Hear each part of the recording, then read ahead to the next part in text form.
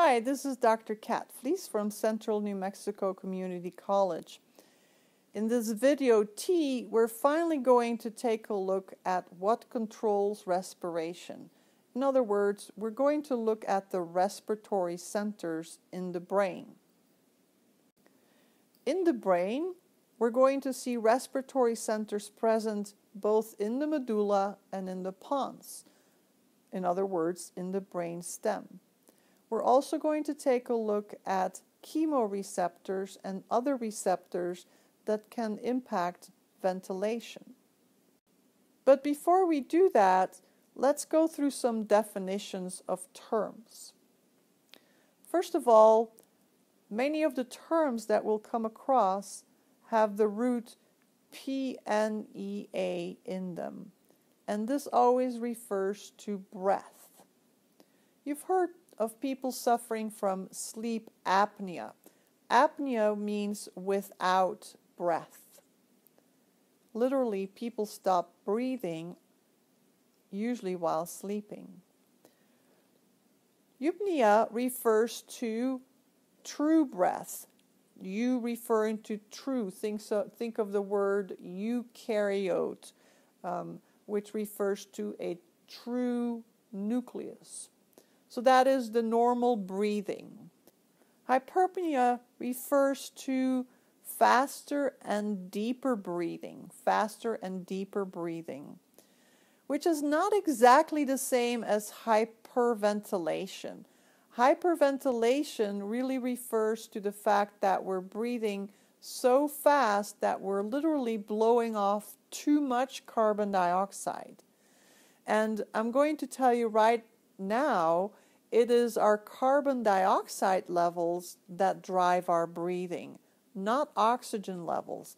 Carbon dioxide plays a very important role in our breathing. And when we hyperventilate, we are literally getting rid of too much carbon dioxide, which has consequences. So there's a slight difference between hyperpnea and hyperventilation.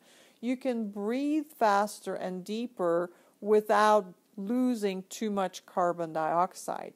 That would be hyperpnea. Hypoventilation means that we're not blowing enough carbon, blowing off enough carbon dioxide. Hypercapnia refers to high levels of carbon dioxide. High levels of carbon dioxide while hypocapnia is just the opposite.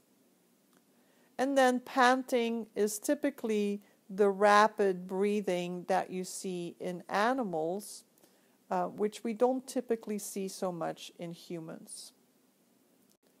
In our brainstem, we have respiratory centers in the medulla and in the pons. We're going to start here with the medullary respiratory centers because they're responsible for setting the pace of our breathing.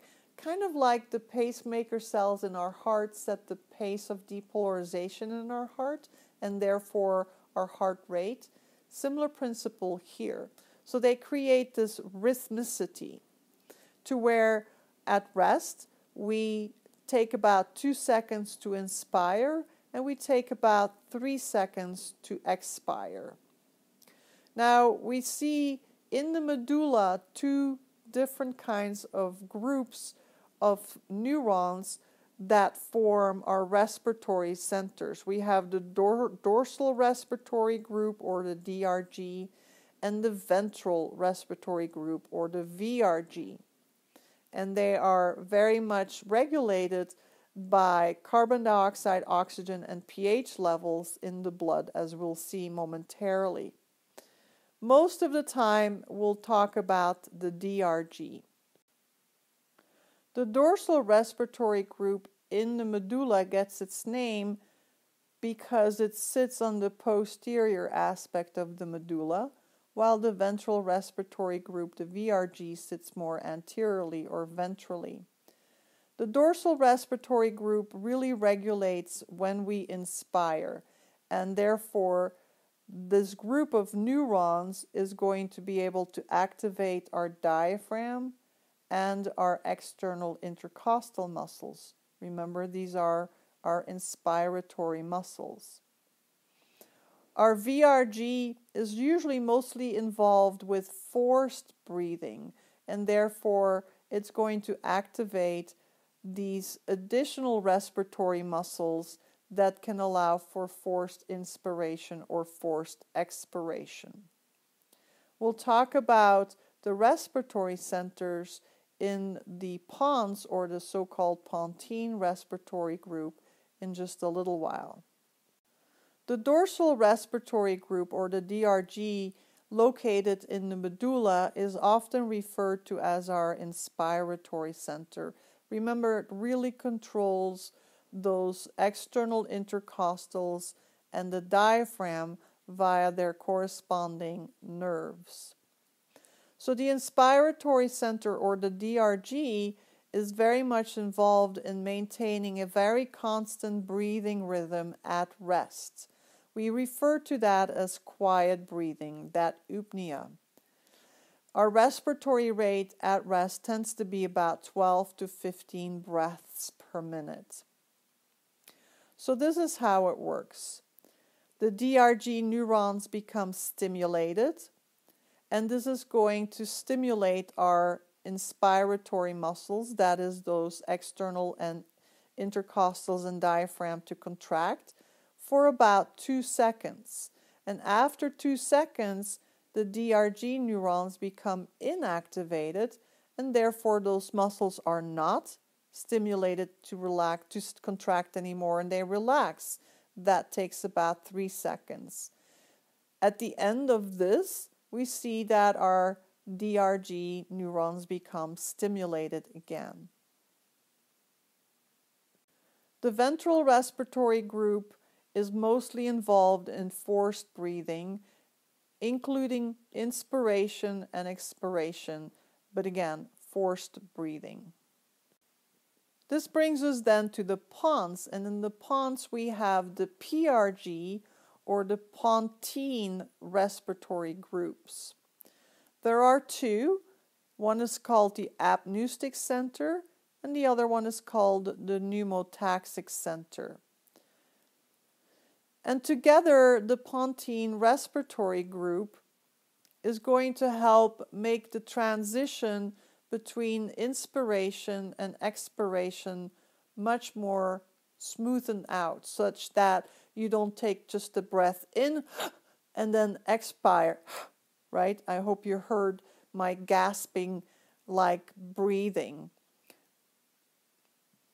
So these pontine respiratory groups can actually change how deep we breathe and how fast we breathe. And they do that by interacting with the medullary centers. One of the centers in the pontine respiratory group is called the apneustic center, and its role is to stimulate the DRG such that our depth of breathing is changed.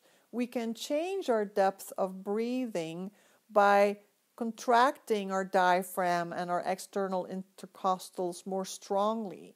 And you might recall from learning about the graded responses of skeletal muscle that if we recruit more motor units, we're going to see stronger contractions. And sim- a similar principle applies here. So we can increase our depth of inhalation by recruiting more respiratory motor units of the diaphragm and of the external intercostal muscles. While the apneustic pontine center stimulated or activated the DRG, hereby controlling the depth of inspiration. Our second pontine center, called the pneumotaxic center, inhibits the DRG. And as it inhibits the DRG, it's going to relax our inspiratory muscles, and this is therefore going to impact the rate of respiration. And Remember, the rate of respiration refers to how many breaths we take per minute. So if we change how long the DRG is activated or how quickly it's turned off, we're going to then also impact our respiratory rate. So, in summary, we have medullary centers and we have pontine centers. There are two medullary centers. The uh, dorsal respiratory group really sets the pace of our breathing by turning, um, by stimulating our inspiratory muscles or relaxing them. We also have a ventral respiratory group, which is primarily involved in forced breathing. The pontine respiratory group also consists of two centers. The apneustic center impacts the depth of our breathing, while the pneumotaxic center is going to change our respiratory rate.